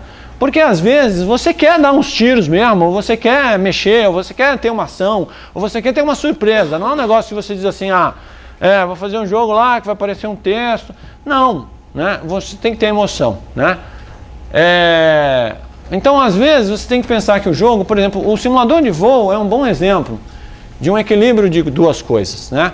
Quando você faz um simulador de, quando você joga simulador de voo, não sei se vocês já jogaram, eu já joguei bastante, inclusive é, também, é, eu, eu, sempre, eu joguei mais na época que os, os, negócios eram mais toscos. Eu acho que eu sou meio tosco por natureza, assim. Eu não consigo jogar quando ficou muito bom, eu parei de jogar, certo? Quando o negócio ficou fotorrealista, ah, não tem mais graça. É melhor voar de avião. Então, eu, eu jogava muito, assim, quando ainda era é, é, não tinha cores ainda, né? E eu jogava bastante simulador de voo. E simulador de voo é um negócio interessante, porque ao mesmo tempo você tem a emoção, você está pilotando um avião, você tem que tomar cuidado para o avião não cair, né? Tem até aquele lá que eu mostrei para vocês, tem até a queda dele, é interessante, depois eu mostro como é que ele cai. Mas você tem toda a estratégia, você tem que controlar a altura, você tem que aprender a decolar, você tem que aprender a pousar, você tem que se entender por que, que o pouso deu errado, os melhores simuladores de voo, eles vão aproximando os modelos ao mundo real. Né? Ah, por que, que o meu avião caiu? Não, peraí, a sua inclinação, você não pode pousar inclinado. Você tem que isso aqui. Aí você começa a aprender as coisas, a mecânica do negócio, você começa a tomar decisão, mas tem ação também. Então você faz um equilíbrio. É, bom, é, é, toda essa reflexão mostrando sobre jogar e desenvolver jogos é, leva a uma questão interessante. Muita gente, muita gente não, mas um grupo de pessoas que joga também gosta de desenvolver jogos. Né? Jogar leva, às vezes, você a desenvolver jogos. Foi o meu caso. Eu, quando comecei, eu aprendi a programar porque eu queria fazer meus jogos. Foi assim a minha história, né? basicamente. É, eu jogava um negócio e eu dizia, ah, eu tenho que saber fazer um negócio assim. Eu tenho que saber como é que faz. Aí eu comecei a programar porque eu queria fazer um jogo. Né? É, então, a gente pode pensar, será que é, jogar e construir jogos podem ser parte do mesmo processo? E quais são as fronteiras entre jogar e construir o jogo? Certo? Então aqui, na verdade não é nem as fronteiras entre jogar e construir o jogo. Aí eu misturei duas ideias. Mas eu, eu mencionei sobre dois, dois, dois, tipos de jogo, né? Aquele jogo que a gente diz assim, olha, eu acho que a pessoa está muito no action, ela não está pensando muito, né? E por outro lado tem aquela pessoa, tem aquele jogo puzzle, aquele jogo de raciocínio que você diz, não, isso aqui o cara está aprendendo. Eu estou preparando vocês para a gente chegar na parte de educação, certo? E no fundo, qual é a fórmula? Não, eu acho que não tem uma fórmula, mas eu tenho uma percepção pessoal do tipo de jogo que eu gosto de desenvolver, não é? E na minha percepção pessoal, além de tornar as pessoas felizes, que isso é um princípio do jogo, eu acho que o jogo tem que fazer as pessoas crescerem. Tá? E fazer as pessoas crescerem é um princípio que talvez seja difícil de definir, mas eu acho que é importante. Né? Eu não quero fazer só um jogo divertido. Eu não quero, por exemplo, olhar às vezes como eu olho. Então, às vezes você está no ônibus e vê aquele sujeito que não consegue parar de jogar aquele negocinho de bolinha, de combinar bolinha, né? Não sei como é o nome do negócio, né? E às vezes você nem tem a impressão que o cara está feliz, você tem a impressão só que o cara não consegue parar aquele negócio ali, né? Então, no fundo, é, eu acho importante a gente pensar que o jogo ele tem que ter essa percepção, ele tem que ter essa dimensão de fazer as pessoas crescerem. E aí entra já uma, uma visão pessoal, um caminho pessoal que eu tenho desenvolvido nos últimos anos sobre, é, sobre jogos, sobre construção de coisas, né? que envolvem pensamento criativo, ferramentas para pensar, certo? E engajamento ativo no jogo. Eu vou mais ou menos mostrar é, o que isso quer dizer, mas para isso eu vou ter que entrar em games e educação, porque no fundo é, toda essa preparação foi porque a minha pesquisa ela envolve games em educação, né? E é, para isso eu tenho que falar um pouquinho sobre essa, essa percepção. É, e nessa parte de, de games em educação, certo? É, além de desenvolver muitos jogos, tá? Eu tenho uma lista. Eu ia fazer um catálogo de tudo que eu desenvolvi, mas não consegui. É muito, é, realmente eu desenvolvi muita coisa, tá? Ah, inclusive dentro das escolas, né? Desenvolvi muitos jogos e também apliquei muitos jogos, porque lá em Salvador, além de ser professor na universidade, eu trabalhava em, eu trabalhei por muitos anos com informática e educação em escolas do ensino médio, fundamental e médio, né? Então a gente eu passei por toda uma geração que foi descobrindo a forma como a gente poderia trabalhar com computadores com as crianças. Eu fui passando por várias gerações, várias percepções, vários entendimentos. E uma das coisas que a gente que se fazia muito no começo e era um erro muito grande é que a gente tentava reproduzir a sala de aula, mas não só reproduzir a sala de aula na forma como se ensina, como se dá aula reproduzir como a gente divide o conhecimento em pedaços. Né? Então o cara diz assim: Ah, você vai desenvolver um jogo para a educação? Vou. Mas é para ensinar o quê? Matemática, português? Mas por que, que tem que ensinar uma matéria? Não entendi. Né? Porque no fundo, no fundo, o mundo real, ele não é dividido em matérias. Né? Quando você tem que atravessar uma rua, certo? Você não diz, não, peraí, não, eu tenho que treinar matemática para atravessar melhor essa rua. Você não faz assim, né? Você tem que praticar todas as suas habilidades. Né? Então, resolver problemas é uma articulação de habilidades. O que a gente faz em sala de, na escola, obviamente, é a gente segmenta o conhecimento. Tudo bem, para você poder ensinar aquela coisa ali. Mas na hora que você faz um jogo, é uma péssima ideia você fazer isso, certo? Porque na hora que você faz isso, você está tentando introduzir no jogo uma coisa que não convence, certo? Porque não tem, não tem a ver com a, a, a, não tem a ver com a história. Talvez se você pegar aquela, aquela fala de Picasso, você não está sendo um bom artista, porque você não está mentindo bem o suficiente para convencer o cara de que isso aqui é uma coisa que vai te levar a uma verdade. Isso não é um bom jogo. Certo? Uma das áreas interessantes que você pode que pode ser usada como base para jogos é o problem based learning. É a ideia de que se você quer que alguém aprenda alguma coisa, você parte do problema, certo? Você pensa, mas o que eu quero resolver? Lembra que eu falei no começo que todo jogo, isso é uma percepção pessoal, mas todo jogo você resolve um problema. Você está resolvendo um problema. Então qual é o meu problema? É? Então isso é uma coisa interessante, porque o Problem Based Learning, se vocês estudarem os fundamentos, e aí tem vários nomes e algumas abordagens como WebQuest, se vocês estudarem um pouco essa questão do Problem Based Learning, vocês vão ver que um dos princípios, inclusive fora de jogos, fora até de computadores, se você olhar como isso é usado em algumas escolas e universidades, eles são basicamente multidisciplinares. Então eles, eles é, é, por exemplo, lá, lá em Salvador, eles estavam implantando um curso de medicina que ia implantar fortemente o Problem Based Learning. Então, oi? A UFS? Computação e medicina. É? Pô, legal isso. Na verdade, parece que o PBL vem da medicina. Começou ah, é? Porque na medicina você tem muito. O aluno tem um certo estágio, ele vai estudar os pacientes, né? vai acompanhar os pacientes. PB, PBL vem lá. Vem Ah, isso eu não sabia, interessante. Eu acho que então por isso que lá começou, lá em Salvador começou essa história de PBL justamente quando implantaram o curso de medicina, né? que acho que depois do terceiro ano, se não me engano, eles têm. Eles têm um paciente, eles, eles, eles vão no paciente e. Vão estudar um conteúdo para ir lá aplicar no paciente. Eles vão estudar É. É, interessante isso. É, porque o caso do paciente, ele, ele intrinsecamente exige todos os conhecimentos, né? É um problema do mundo real.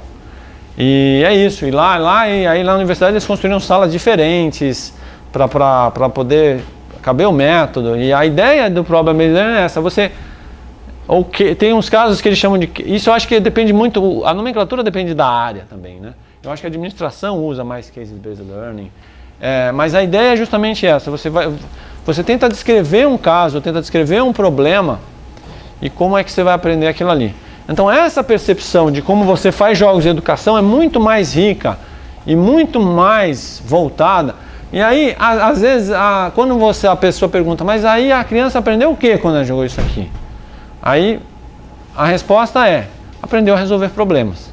Né? Às vezes ela tem que desenvolver várias habilidades. Às vezes você não sabe nem dizer para a pessoa se foi matemática, se foi português ou se foi geografia. Né? Mas resolver problemas é importante. Uma experiência muito interessante que eu fiz que mostra como é ruim dissociar as duas coisas foi esse jogo aqui, Info 2000. Tá? É, obviamente pelo ano, né? Vocês estão vendo que. E isso era antes do ano 2000, na verdade, que a gente aplicou, porque Info 2000 eles já estavam falando meio que no futuro, né? Então era um jogo que ensinava as crianças a usar o DOS. Todo mundo sabe o que é DOS? Sistema operacional DOS? É, pois é. Na época era esse o sistema operacional. E, e o negócio era assim: era uma aventura espacial, né? Aí tinha um vilão, você tinha que perseguir o vilão e tal.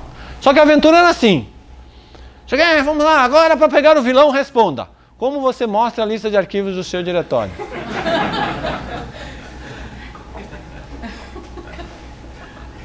Mas, mas a gente tá rindo, mas tem muito, muito jogo que é assim. Agora, de matemática, então nem se fala, né?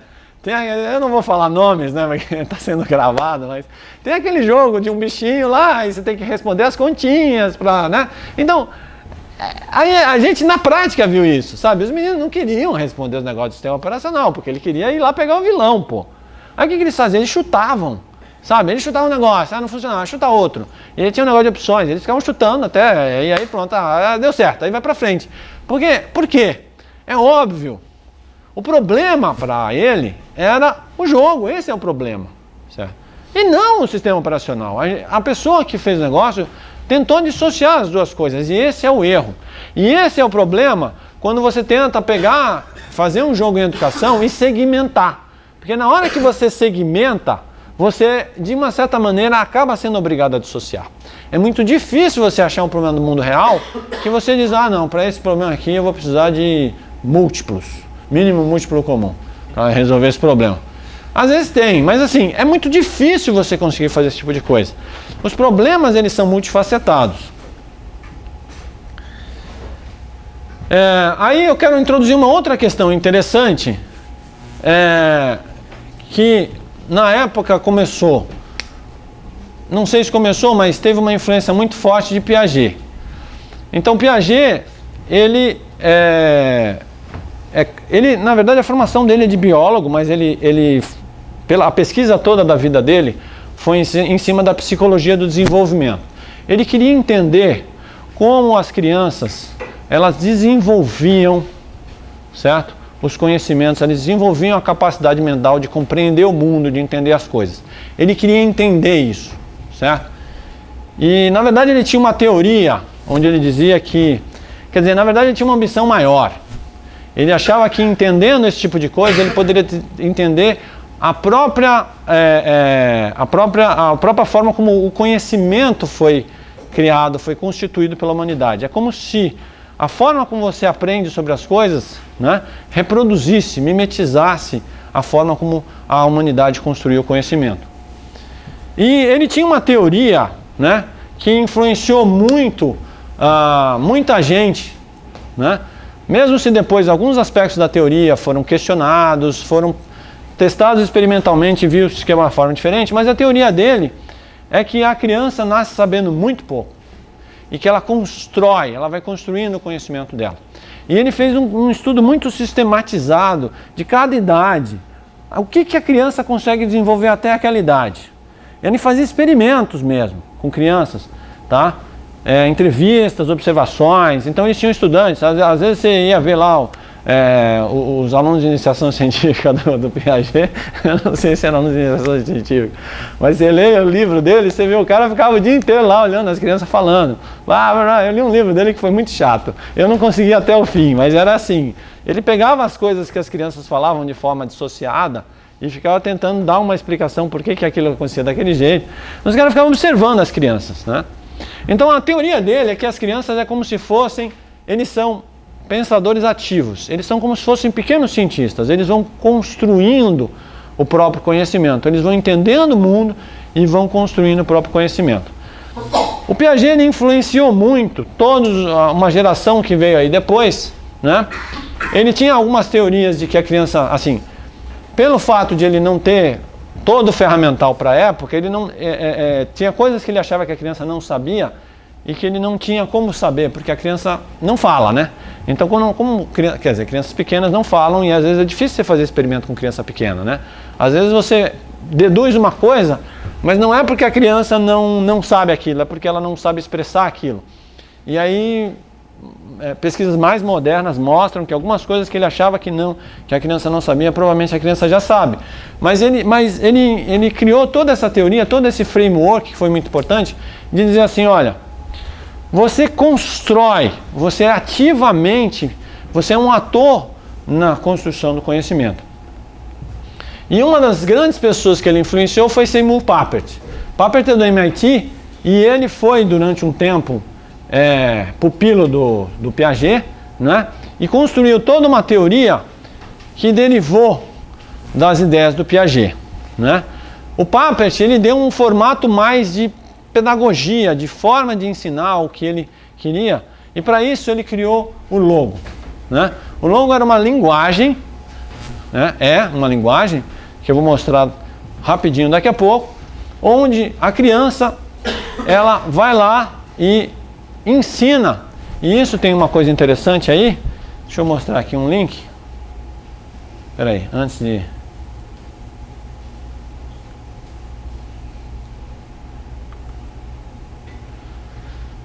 Esse é um, um logo online. Eu até tentei instalar o super logo, porque o NIED aqui no Unicamp tem um super logo, né? Mas no Windows 8 ele não, ele não vai. Porque eu tenho um monte de coisa escrita em super logo. Aí, por exemplo, você fala para tartaruga, vai para frente 100. Não, não é para frente não, porque aqui é inglês. Forward 100. Você pode escrever forward se quiser, tá?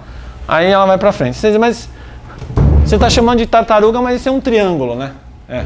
Aí até o Piaget fala uma coisa interessante, que isso é muito interessante. Ele diz, não, a gente realmente chamava de triângulo, mas aí eu acho que uma criança falou, mas isso parece com uma tartaruga, né? Aí ele, ele viu uma coisa importante, né? Que se criou esse vínculo emocional, né? A criança entrou numa. É, é aquela história, a criança entrou numa história, entrou num, num jogo, entre aspas. Né? Aí isso é uma tartaruga. Aí a partir daí eles passaram a chamar de tartaruga. E é por isso que o símbolo do logo é uma tartaruga. Né? Aí você pode dizer assim, olha, para a direita, 90 graus. Oh, para a direita, ó. Right, eu acho que é RT, 90 graus. Aí ela vira, tá vendo? Agora se eu der o forward para ela, ela vai nessa direção que ela tá, certo? E aí, eu posso é, fazer uma coisa do tipo, olha, bom, para vocês que são de programação isso é tranquilo, né? Repita é, quatro vezes. Vá para frente. 100, certo? Right, 90. Aí o que, que a tartaruga vai fazer? Ela vai construir um, um quadrado, né? É, bom, aqui ela faz muito rápido, né? Mas tem alguns casos, eu acho que nesse aqui também dá. Você pode fazer ele fazer mais devagar, passo a passo e tal. É, no fundo, o que vocês estão vendo aqui é, é programação, né? Mas não é programação, mas a, mas a ideia de é, é, o Turtle Graphics, que a gente chama, a ideia de você ter uma tartaruga, a metáfora da tartaruga, você ensinar a tartaruga a fazer movimentos, é muito poderosa. Tá? Na época eu, é, quando ele lançou isso aí, quer dizer, um pouco depois, é, eu comecei a aplicar o logo em, em, em, escolas, com alunos, e realmente eu percebi que é, ele ajuda bastante né, é, no desenvolvimento, em como você desenvolve as suas habilidades, abstrai conhecimentos. Né? É, o problema que eu tive, por exemplo, em escolas, é que quando você tenta casar uma abordagem como essa, porque aqui o que, que você faz? Bom, você tem essa linguagem aqui, beleza. O que, que você vai fazer agora com isso aí? Bom, como o Papert falou, isso é muito interessante, tá? É, ele, ele na época estava se confrontando com uma ideia do seguinte: como é que a gente vai fazer com que os computadores ajudem as, as crianças ou as pessoas a aprender alguma coisa, né? Então existia muito aquela ideia de você, ah não, vamos fazer uns negócios de que a criança vai é, ler material e vai ter perguntas e respostas e reforço positivo e negativo. Aí ele propôs o seguinte: não, eu acho que a criança é que tem que programar o computador e não o inverso. É não o computador que tem que ficar dizendo para a criança o que, que ela vai aprender. E isso era uma noção interessante porque ela se baseava na ideia do Piaget que você constrói o seu próprio conhecimento, tá certo? É claro que por trás disso você não pode botar só a criança na frente do computador e dizer faz aí alguma coisa. Não, você tem que ter um projeto, você tem que ter um problema, você tem que desenvolver alguma coisa e tem que fazer a criança solucionar aquele problema. Mas é interessante porque realmente tem uma reflexão aqui. Na hora que a criança vai ensinar a tartaruga a fazer alguma coisa, porque a metáfora é essa, eu estou ensinando a tartaruga, né? Que não sabe, certo? Então você faz aquele papel que a gente diz, quando você ensina alguém, você aprende mais, né? Porque você agora não está só é, é, pensando em alguma coisa, mas você está tentando ensinar alguém. André, Oi. você sabe por que, que ele pensava assim? Do, do quê? Claro. Porque na época o que se fazia era usar o computador para ensinar, o computador ensinar a criança. O computador como sistema computacional como substituto do professor. Pergunta, resposta, aquela É. Né? Então existia um movimento na educação achando é, que, Que é o- deveria se criar máquinas de ensinar né, os- os- as instruções programadas. Então ele veio com essa ideia completamente revolucionária para a época, né? Para inverter pa- Para inverter o papel. É. É, exatamente. Quer dizer, é, é- é isso que eu, eu acho uma coisa interessante, essa inversão de, de que ao invés da máquina dizer, né, quer dizer, é um pouco a ideia de você introduzir a ideia, a introduzir o conceito de que você não vai ficar só transmitindo coisas para a pessoa, né? Mas que a pessoa pode ativamente aprender alguma coisa. E ele também falou uma coisa muito interessante, que para mim, na minha opinião, hoje em dia se fala muito de computational thinking, mas nessa época já, já se trabalhava muito com o que hoje a gente chama de computational thinking, é que o Papert diz que ele não é somente um instrumento, mas é ele pode ser usado de maneira conceitual. Na verdade, para você entender o que ele está falando, você tem que ler mais sobre ele, as teorias, a ideia. É uma coisa ampla, ele desenvolve toda uma teoria, tá? Eu estou simplificando aqui. Mas, de uma certa maneira, o que ele dizia é o seguinte: o computador, ao você tentar programar a máquina, ele te leva a pensar, a organizar as ideias de uma certa maneira, a fazer as coisas, a, a propor alguma coisa, e isso vai te ajudar a desenvolver raciocínio abstrato, etc, etc. Né? E eu participei de uma época em que a gente realmente usava isso. Eu me lembro que eu levava para a sala de aula, eu tive uma turma, uma, uma escola que não tinha computador nessa escola, e aí eu comprei um desses computadores que se liga na televisão. Na época era um MSX, que vocês provavelmente não conhecem também. Era, veio depois do, do, do CP500. Mas era um negócio que você conseguia levar, era grande assim, mas, mas dava para levar numa sacola, sei lá. E você ligava, eu pedia na, na escola uma televisão, ligava na televisão da escola. E ele tinha uma versão de logo que você botava num cartucho. E aí eu chegava lá na frente e começava a trabalhar com os alunos com aquilo ali. E realmente era muito interessante. Você conseguia discutir numa espécie do que ele chama de. Eu acho que é a próxima coisa que ele fala de. ah, eu acho que eu pulei esse, né? Mas ele fala da, da Matelândia, né? Que ele diz assim: é como, é como se você vivesse numa terra da matemática e você tivesse que se expressar dessa maneira. Bom, é, é claro que com o tempo, na medida que a gente, assim, teve muita empolgação no começo, é, o que a gente começou a perceber, pelo menos eu comecei a perceber, é a, a, a, dificuldade de conciliar isso com o currículo tradicional da escola, né? Porque o currículo tradicional da escola vai em outra direção, né? E aí, como você faz isso? A criança sai de uma aula que ela fica lá sentada, vendo, ah, aí entra numa sala e diz, agora você vai criar alguma coisa. Aí a gente tinha assim, tinha um, alguns alunos, era sempre assim, a gente tinha alguns alunos que realmente sentavam. Eu lembro até hoje, eu tinha, tem, tem alunos, eu tinha uma menina chamada Carolina, era uma menina impressionante. Né?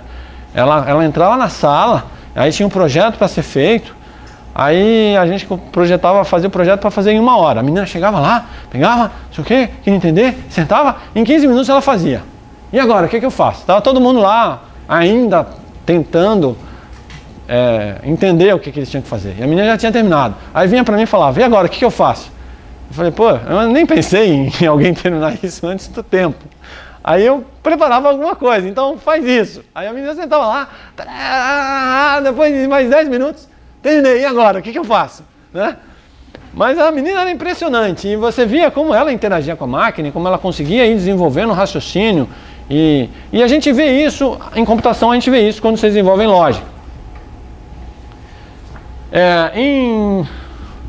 Bom, tem esse artigo de 2006, né, dessa autora, que ela, mas antes disso, ela, é, esse é o segundo artigo dela, ela propôs isso antes, mas ela lançou essa ideia do computational thinking, que acabou virando uma palavra né, de, de, de moda, vamos dizer assim, mas que na minha opinião, ela, ela já, ela, ela talvez não, não tenha citado, não citou no artigo dela, mas eu acho que ela devia ter citado, que isso já materializa toda uma história que já vem sendo, sendo feita por muitos anos, que ela deu esse nome de Computational Thinking. E qual é a ideia do Computational Thinking? É a ideia do seguinte, a gente começa a ter consciência que o que a gente faz em computação tá, não interessa só para as pessoas de computação. Né? Que as coisas que a gente faz a, em computação, elas podem ser usadas para resolver problemas do mundo do dia a dia, do, do, do, no geral, certo? E isso é verdade. A forma como você organiza, como você modela os problemas, tá? E uma das coisas que ela fala no artigo, certo? E a gente já tinha percebido isso antes, e é uma das coisas que ainda se repete muito é: não é só programar computador, certo? Programar computador é um segmento do negócio certo? Mas não é só programar computador, tá? E eu digo mais, há 200 maneiras de você programar um computador, tá certo? E por enquanto, muita gente ainda fica fixado naquela forma tradicional, né? Porque o logo, infelizmente eu acho que eu não vou ter tempo de mostrar aqui para vocês, mas o logo depois ele ele deu origem a toda uma geração de variantes, de coisas diferentes. Por exemplo, surgiu uma, uma linha chamada Box Programming. A ideia do Box Programming é que você faz os programas, mas ao invés de você escrever, você tem umas caixas que você arrasta. Né? Então, se alguém quiser, por exemplo, tem vários exemplos de Box Programming, tá? tem toda uma geração de Box Programming, mas o Scratch do MIT tá? é um exemplo interessante. Tá? E se alguém quiser aprender Scratch, eu tenho alguns vídeos no YouTube mostrando como é que faz um monte de coisa no Scratch, tá? Então, a ideia básica aqui é muito parecida, é uma ideia de que você programa um pouco, mas você é, vai fazer o que a gente chama de um box programming, tá? Ele já me logou? Acho que não, né?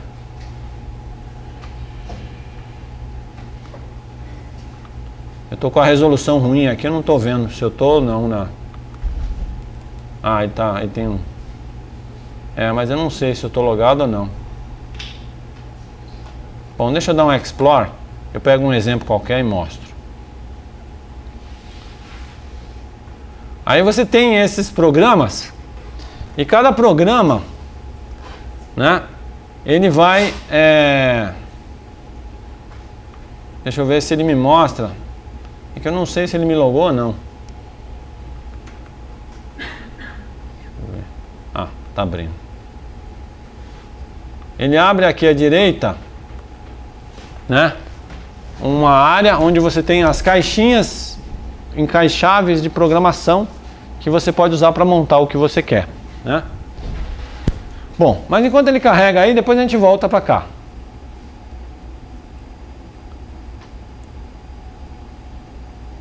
Opa. Nossa, aqui não. Essa aqui.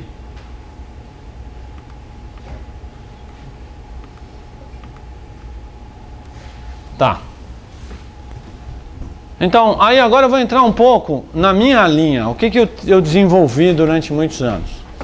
Uma percepção que eu sempre tive é que com todas essas possibilidades da computação, é como se eu fosse um homem das cavernas que um dia sonhou que tinha um lápis e, uma, e um papel. Alguma coisa muito melhor do que eu tenho. Aí eu acordo e digo, mas como é que eu faço isso agora?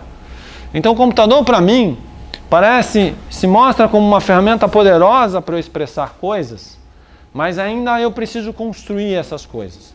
Eu preciso construir as ferramentas. É, por exemplo, componentes é uma coisa que sempre me fascinou e componentes são uma coisa que tem sido muito usada para computação, mas dá para usar muito mais do que para computação. Imagina que você quer mostrar, explicar para alguém é, alguma coisa, algum tema, algum assunto. Há, há, há, várias maneiras de você explicar essa coisa. Você quer explicar uma coisa muito simples, por exemplo, você quer explicar a proporção entre duas variáveis, certo? Aí, você quer que a pessoa entenda isso?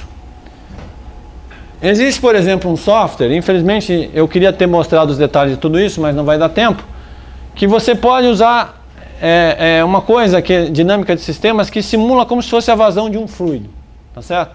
Então você tem um, um, um tanque aqui que gera um fluido numa pressão constante e você tem uma válvula e você ajusta essa válvula e você simula como você faria a coisa com isso. Aqui é só um exemplo, eu ia mostrar o vídeo, mas pelo tempo não vai dar, não vai dar para ver o vídeo. Mas é só para vocês verem um experimento que eu fiz em casa para ilustrar visualmente, mas eu fiz uma bobagem. Porque o meu, eu queria mostrar visualmente como é que funcionava o sistema, só que o problema é que aqui, na medida que vai descendo, a pressão vai diminuindo. Então isso aqui não é constante, certo? Mas eu queria mostrar porque foi engraçado, porque eu sujei a, casa toda de suco de uva para filmar esse negócio e no final não serviu. Mas tudo bem.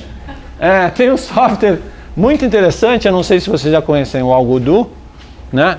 O Algodu é um software que você consegue, por exemplo, é, fazer as coisas funcionarem em tempo real, fisicamente. Né? Ah, ele está na minha área de trabalho. Então, ele é uma coisa assim, que você vem, né? E se você dá um play aqui, tem alguma coisa que você desenhou, né? Mas como é que essas coisas funcionam? Por exemplo, você tem uma área aqui, aí se você deixar no play que ele está funcionando, as coisas já vão acontecendo na hora que você faz. Então você desenha uma pedra, por exemplo, aí a pedra cai, tá certo? Aí se você desenhar outra, ela cai aqui, elas podem bater entre elas, tá vendo? Elas têm um comportamento físico.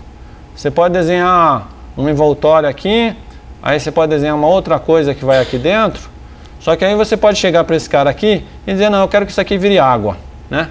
Aí ele vira água, aí você desenha uma pedra, a pedra cai, aí você diz, não, eu quero mudar a densidade dessa, desse material, né? Deixa eu ver onde é que está a densidade agora. Só porque eu quero mostrar, ela sumiu. Em appearance, não, material. A densidade aqui, aí eu posso diminuir a densidade dele. Aí vocês vão ver lá atrás que ele passa, ixi, está flutuando. Exagerei. Exagerei. Bom, Aí vocês vão. Tem várias cenas interessantes, tá certo? De coisas que você pode fazer com ele. Por exemplo, esse motorzinho é muito interessante, né? Ele mostra como é que o pistão consegue fazer uma, um negócio girar. Mas você, se você entrar nesse software aqui, você vai ver cenas ultra complexas, cheias de coisas interessantes. Na internet as pessoas compartilham projetos imensos tá certo? Com coisas assim super sofisticadas, funcionando, fazendo coisas diferentes, e etc, etc, etc. Tá. Então, por exemplo, eu criei um projeto aqui né, no, né, no, no Algodô, em que eu posso mostrar, por exemplo, você diz assim, bom, mas André, como é que funciona, por exemplo, a proporção entre duas variáveis? Bom, deixa eu ver se eu consigo fazer ele ir para o outro drive. Ele está me sabotando aqui. Ah, não. Ah, eu tenho que ir por aqui, eu acho. É. Tem que ir por aqui.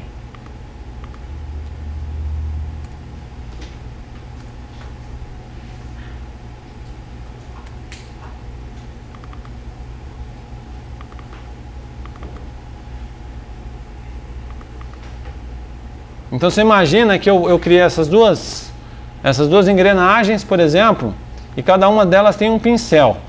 Só que uma é metade, tem é, um quarto das, das rodas da outra, e você vê que ela, enquanto essa dá duas voltas, essa aqui dá uma. Né? Então eu consigo, consigo mostrar nesse mecanismo a ideia de proporções, certo? É. Voltar para os slides é que é sempre um desafio complicado. É uma outra forma é você usar autômatos celulares. Né? Eu não sei se ouviram falar disso. Eu vou pular essa parte toda da explicação. Tem vídeo na internet depois mostrando isso, se vocês quiserem saber. Eu tenho alunos pesquisando nessa área. E a ideia dos autômatos celulares é que você divide o espaço num espaço discreto, que são as suas células, e define regras de como elas se comportam na vizinhança. Por exemplo, eu quero fazer um relógio de areia. Certo? Como é que eu faria um relógio de areia como esse? Eu posso dizer que as minhas células são grãos de areia e posso definir regras para cada célula. Né? Como ela se comporta. Ah, se não tiver nada para baixo, ela cai. Certo? Se tiver alguma coisa embaixo, mas não tiver nada na diagonal, ela anda na diagonal. Eu vou definindo regras e magicamente você tem o que a gente chama de um comportamento emergente. Daqui a pouco as, as, a areia começa a cair. Eu posso simular coisas como o que a gente chama do modelo predador-presa. Carnívoros e herbívoros, né? E você pode definir regras de que o carnívoro, que está numa célulazinha aqui de vermelho, aqui são dinossauros, mas é só por acaso, tá? É, então tem um dinossauro herbívoro, tem um dinossauro carnívoro, você define regras, se ele estiver perto ele come o outro, ou regras de reprodução, tem várias regras que você pode definir para cada célula. Esse não é um modelo tradicional de autômato celular, porque o modelo tradicional as regras elas se aplicam a todo o cenário e aqui você aplica, você mistura um pouco com a ideia de agente. Mas aí você dá um play e você vê como o cenário se comporta. Você tem gráficos mostrando a expansão da população, a queda da população e você consegue simular as coisas. Tá. E aí você vai vendo várias coisas, né? Vou, aqui tem outros problemas. Isso aqui é um jogo que explora a ideia de componentes, chamado The Incredible Machine. Vocês já devem ter visto gente fazendo isso no YouTube, né? Você tem que, sei lá, fazer essa bola cair aqui, e aí tem um ratinho, aí você tem que você tem componentes aqui que você pode arrastar e ir montando para cair, para o ratinho arrastar, para bater, para subir, para não sei o quê. E isso é um jogo, é um jogo bem interessante. Isso aqui já é ligando a ideia de, de composição com a ideia de construir um jogo, né? É, esse é um Crayon Physics, que é bem interessante também. Ele junta a ideia do Incredible Machine com a ideia de você desenhando do algodão. Então aqui você tem que fazer a bolinha chegar num certo lugar, mas você vai desenhando os elementos, a bolinha vai passando, aí você tem que desenhar as partes do negócio que estão faltando, mas você tem que respeitar certas leis da física para o negócio chegar no final. Subtoys, também não vai dar tempo de eu mostrar, mas é super divertido porque ele faz barulho, as coisas caem um ursinho, não sei o quê. Bom, e aí é, vem inspirado em ideias antigas desses jogos que eu mostrei para vocês, de salas, olha que jogo legal esse, hein? Olha só, né? E, em lugares, né? Ah, aí tinha um tiranossauro, mas também é por acaso. Mas olha como era a capa desse jogo, era uma fita isso, hein? Pensa só. Bom, é, é muitos anos atrás eu comecei a desenvolver a ideia de, de que você poderia ter jogos baseados em lugares, né? Salas, eu desenvolvi inspirado em outros jogos, né? Com transições. E comecei a desenvolver primeiro um jogo, Castelo de Cristal, a gente usou com crianças da alfabetização esse jogo para treinar o sentido de direção, né? Um jogo bem interessante. E aí isso me deu a inspiração para criar um ambiente, que foi chamado de casa mágica. E o que, que era esse ambiente? A ideia desse ambiente é que você puder, pode combinar componentes de software em lugares. Você primeiro tem a ideia do lugar, que é essa ideia, por exemplo, da sala, né? Então você pode construir salas e fazer transição de salas, mas você pode ter outros tipos de lugares. E nesses lugares você pode colocar componentes. Por exemplo, eu acho que a melhor forma de ver é fazendo ele funcionar. Esse aqui vou ter que sair.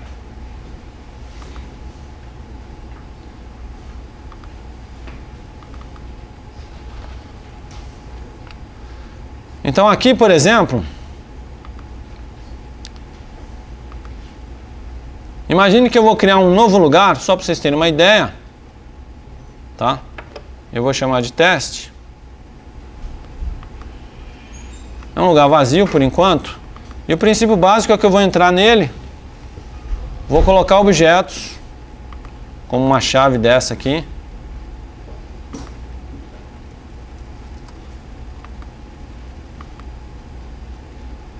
Eu posso arrastar ele, eu posso ligar e desligar, né? Eu posso ter um objeto que é um reloginho, por exemplo, que é esse aqui.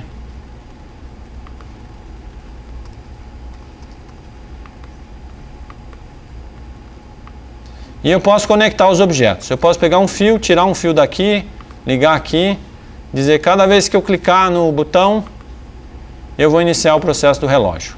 Então eu vou conectando os componentes desse jeito. Tá? Aí se eu executar, na hora que eu clico aqui, o reloginho anda. Então a ideia é que eu tenho componentes, certo? E eu posso ir combinando componentes no nível de complexidade que eu quiser. Por exemplo, eu vou mostrar aqui um exemplo de uma função de segundo grau, né? combinando uma porção de componentes. Isso aqui é um trabalho que foi desenvolvido em matemática no colégio, onde a gente pegava a noção de uma equação e a gente dividia ela em pedaços que funcionavam de forma móvel que cada um era um componente. Por exemplo, é uma coisa que muda o valor, que conta, um contador, né? isso é uma variável x, ela é um contador, ela muda o valor. As constantes não mudam. Né? E aí você tinha componentes que somavam, que multiplicavam. Então, o aluno ele conseguia ver visualmente, ele conseguia compor visualmente os pedaços de uma equação, para entender como é que a equação funcionava. Nesse caso aqui eu exagerei já, eu já fui para uma equação bem complicada, que é uma equação de segundo grau que envolve vários componentes, só para vocês verem todo mundo funcionando junto. E ele mostra o movimento dessa bola, que ela vai ser, ela move de acordo com o resultado da, do último componente, né, que é o resultado da equação, e que também traça esse gráfico. Então, mas isso aqui foi construído pedaço por pedaço, pela combinação de componentes, tá certo? E você pode ter componentes bem, bem com, com uma granularidade bem pequena, mas você pode ter componentes com uma granularidade maior. Por exemplo, você pode ter componente. Cadê o 2.5? Alguém está vendo 2.5 aí? Não, né? Ah, tá aqui. Perdeu o ícone? Ah. Perdeu o ícone, não sei porquê, mas está funcionando. Você pode ver aqui, por exemplo, uma coisa mais complicada como essa bola, não é nem mais complicada, mas ela usa uma planilha eletrônica. Ela usa um, um componente mais complexo, que é esse aqui, que faz o cálculo para ela. Então é uma planilha encapsulada dentro de um componente. Mas por que essa coisa dos componentes é importante? Então vou pular toda uma parte conceitual aqui, né? Os princípios foi baseado na autoria, as gerações do Casa Mágica, né? toda essa coisa de lugares, mostrando, para chegar na seguinte ideia. É, bom, então é uma composição de componentes, tá? Eu não sei porque ele está indo devagar. Eu devo ter botado algum timing aqui. Acho que eu botei algum time, sei lá porque ele está andando devagar assim. Enfim. Seja lá o que for, já estou arrependido. Bom, uma das ideias que surgiu, e é uma das ideias que me interessa, é: e se eu quisesse compor coisas diferentes? várias coisas, tá? Então vamos imaginar um problema. Aí novamente eu vou para o simulador de voo, eu vou para um jogo. Eu quero fazer uma máquina de voar, certo? Então, é, na verdade, então eu não quero aprender matemática ou português, eu quero fazer uma máquina de voar, certo? Bom, mas se eu quero fazer uma máquina de voar, né? Talvez que nem essa aqui do tio aqui, vocês gostaram dessa? Essa do meio é que eu mais gostei. Dá uma olhada no look dele aí, né? Ele vai correndo, né? Bom, se eu quero fazer uma máquina de voar, como eu faria do ponto de vista de componentes? E aí tem um problema que eu acho que ninguém resolveu, né? Nem eu. Né? E é um desafio de pesquisa, que é o seguinte: tem dois problemas. O primeiro é eu quero compor coisas em vários níveis. Você imagina que tem essa máquina voando aqui. Aí eu abro essa máquina e eu quero olhar o motor dela, certo? Bom, então eu teria um componente maior, que é essa máquina que está voando, e agora eu abro e tem uma composição de componentes aqui nessa máquina, que é o motor dela, certo? Aí eu abro dentro desse motor um outro componente menor, que é um pistão, alguma coisa, e isso é um outro componente. E assim eu posso descer no nível de complexidade que eu quiser. Isso é uma composição hierárquica. E eu não, conheço, eu não conheço soluções que façam isso. A segunda questão é como eu componho coisas diferentes. Por exemplo, eu mostrei para vocês várias coisas interessantes. Eu mostrei para vocês, por exemplo, que tem aquela coisa da dinâmica dos fluidos, ou tem aquele negócio do algodu, e que poderiam ser combinadas, certo? Ou tem os autômatos, por exemplo. Você imagina que é, a, a, a, máquina poderia ser projetada no algodu, mas o, o fenômeno da explosão para puxar o pistão, poderia ser um fenômeno emergente baseado no autômato celular, por exemplo. E eu queria combinar essas coisas. Algumas iniciativas tentaram fazer isso, colocando coisas dentro de componentes. Um projeto que ficou famoso se chamou ESCOT. A ideia dos caras é que você podia colocar tudo dentro de componentes e sair ligando. E eles realmente conseguiram convencer vários projetos diferentes a seguir os modelos deles. Eles criaram um modelo de componentes e para que você pudesse pegar, por exemplo, aqui é um exemplo que eu falei. Isso aqui, por exemplo, é um, um negócio semelhante, se chama Agent Sheets. Ele funciona parecido com os autômatos celulares, ele é um tipo de autômato celular misturado com a gente, e ele está combinando isso com outro cara que traça uma curva, que você combina com uma outra coisa, certo? Eles conseguiram uma solução até um certo ponto, essa solução tinha vários limites, entre eles, a, como é que você fazia a composição visual das coisas, eles não resolveram isso bem. Depois eles exigiam que todo mundo fosse feito em Java, isso era